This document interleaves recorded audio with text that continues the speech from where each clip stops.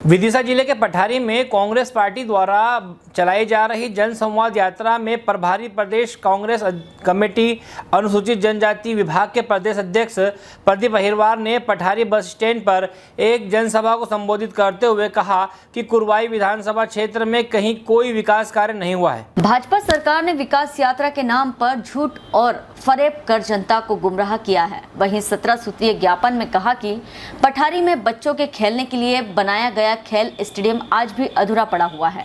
वहीं चार करोड़ की लागत से बनी कृषि उपज मंडी पिछले पाँच वर्षों से चालू नहीं हो पाई है। पठारी की मुख्य सड़कों पर गड्ढे ही गड्ढे हैं। ऐसी अनेकों समस्याओं को लेकर महामहिम राज्यपाल के नाम पठारी तहसीलदार अभिषेक पांडे को ज्ञापन सौंपा गया।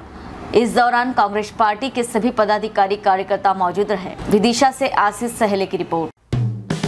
हेलो फ्रेंड्स आप देख रहे हैं हमारा चैनल एस न्यूज़ हमारे सारे वीडियो सबसे पहले देखने के लिए आप हमारे चैनल को सब्सक्राइब करें और पास में लगे बेल आइकन को दबाना बिल्कुल भी ना भूलें।